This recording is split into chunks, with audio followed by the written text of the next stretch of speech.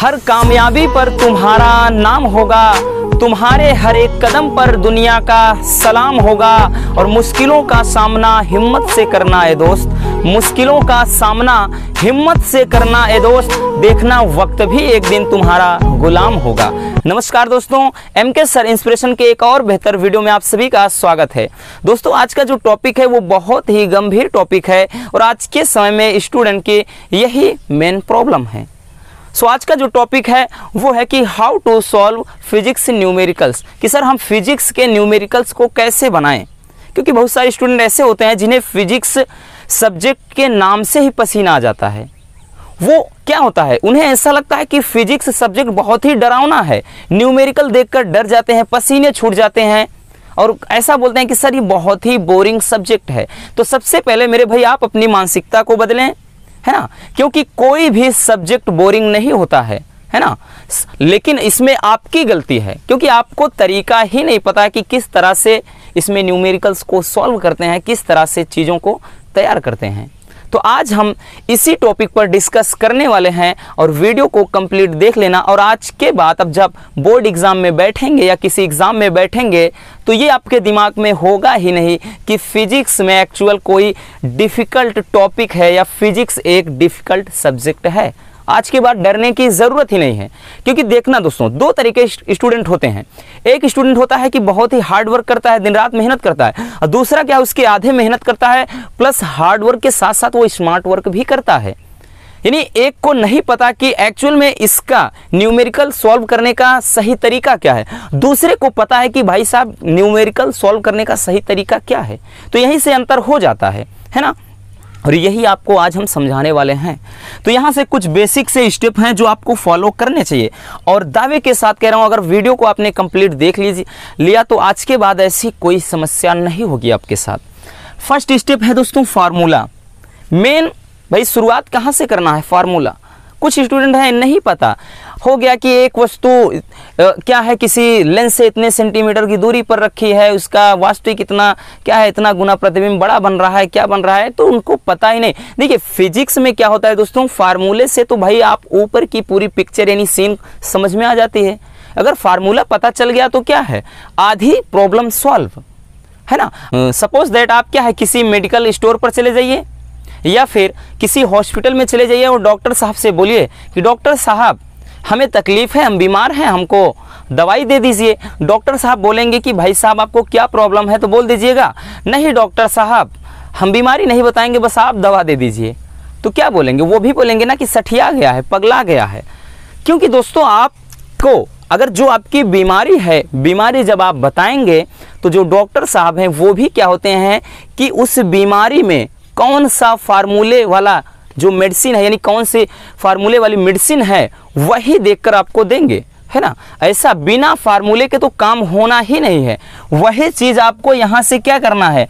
समझना है। यानी फार्मूला मेन होता है। ठीक? इसलिए फार्मूले को आप सबसे पहले तैयार करिए। अगर इसमें भी झंझट है, डोंट वरी। हमने ऑलरेडी पाँच से हाँ चार से पाँच वीडियो बना दिया है इस पर फार्मूले पर। एक तो ट्वेल्थ फिजिक्स का पूरा का पूरा बना दिया है, इसके डिस्क्रिप्शन में मिल जाएगा। एक बेसिक फिजिक्स फार्मूला वो भी बता दिया है। भाई साहब, मेहनत तो करना पड़ेगा, ऐसे ही कुछ नहीं होगा।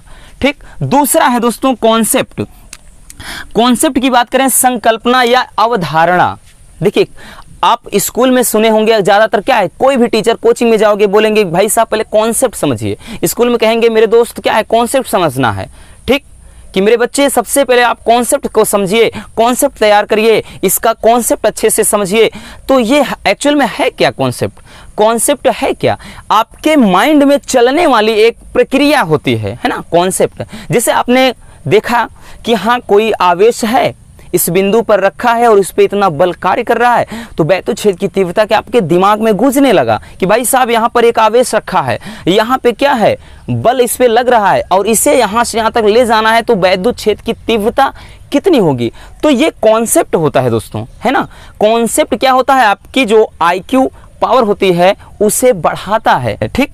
तो ये होता है कॉन्सेप्ट और ये तो हर जगह लगना है। यहाँ पर यहाँ पर यहाँ पर यहाँ पर यहाँ पर, हर जगह कॉन्सेप्ट चलता है, ठीक?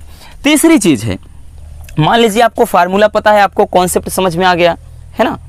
उसके बाद क्या होता है कि इजी एग्जाम्पल्स आपको करना क्या है? आपको करना क्या है? फिजिक्स में आप जब बैठते हैं तो सबसे पहले हमने बताया ना फार्मूला कॉन्सेप्ट प्लस क्या करना है?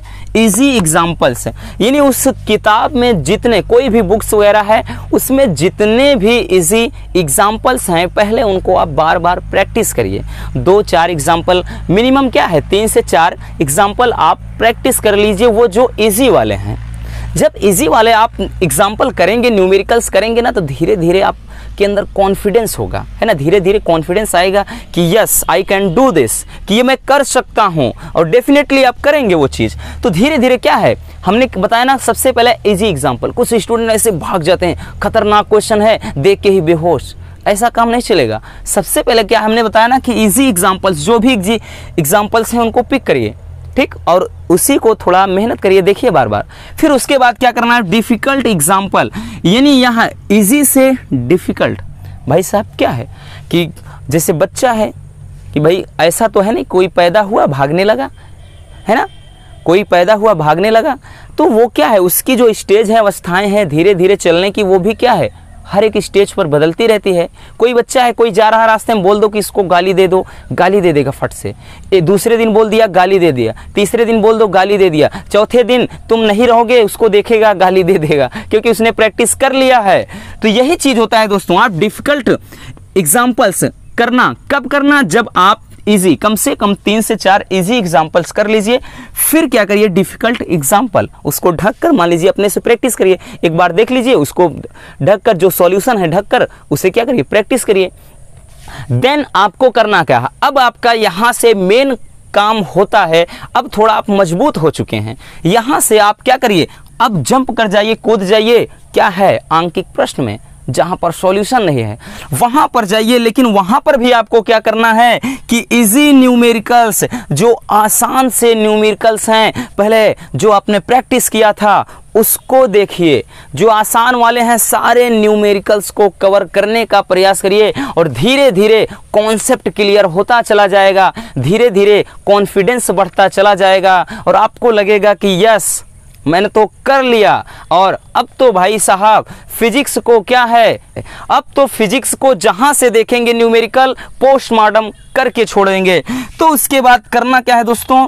फिर आपको क्या करना है? डिफ़िकल्ट न्यूमेरिकल्स यानी इजी से आप आएँगे डिफ़िकल्ट न्यूमेरिकल्स में। यानी जो क्या है? टफ लेवल के न्यूमेरिकल्स होते हैं उनको देखना है। और इस तरह से क्या हो जाएगा? पूरा कंप्लीट आपका कॉन्सेप्ट तैयार होता चला जाएगा। और आप उस काबिल बन गए हैं कि बैठिए बोर्ड एग्ज़ाम्पल में और लाइए भाई साहब, कौन सा न्यूमेरिकल आएगा? अब दिखाते हैं कि न्यूमेरिकल की औकात क्या है। है ना? आप मेहनत करिए। इस तरह से आप न्यूमेरिकल्स को फिजिक्स के न्यूमेरिकल्स को बना पाएँगे। और इस चीज़ को आप देख लीजिए, उसके बाद आना, फिर बताना कि, सर, आपने बताया और ये काम नहीं किया। और रेगुलर हम यहाँ से ट्वेल्थ की वीडियोस अपलोड कर रहे हैं। और नए हैं तो चैनल को सब्सक्राइब कर लीजिए। अगर वीडियो में मज़ा आई हो, वीडियो पसंद आई हो तो प्यार से एक लाइक कर देना। मिलते हैं किसी और मज़ेदार टॉपिक के साथ। Love you, bye bye, take care.